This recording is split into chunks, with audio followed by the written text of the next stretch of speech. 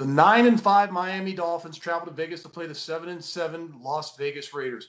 Look at the Raiders this year. They started off at six and three, but they've lost their last four. They haven't been playing that well.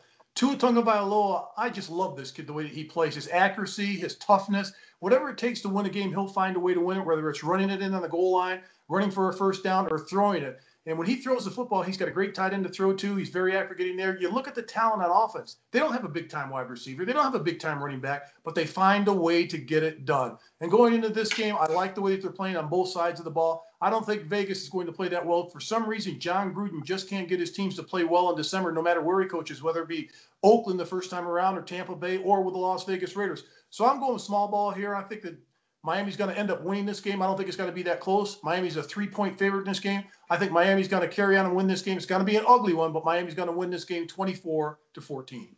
The Dolphins had a tremendous year, and you have to give Tua an awful lot of credit. They don't have a big time runner, big time receiver, as you mentioned, Mark. But let's go back to those three areas. The Dolphins are plus 25. They're plus 10 in turnover, plus 7 lost yardage play, plus 8 in penalties. On the other hand, the Raiders are plus 9. Most of that came earlier in the year. Right now, they're minus six in turnover. Uh, they're plus eight in lost yardage plays and plus eight in penalty, which gives them a total of plus nine. But the defense in the kicking game has scored three times for Miami, whereas the Raiders have not scored on defense or special teams, but they've given up three times. I love Carr. I think he's having a great year.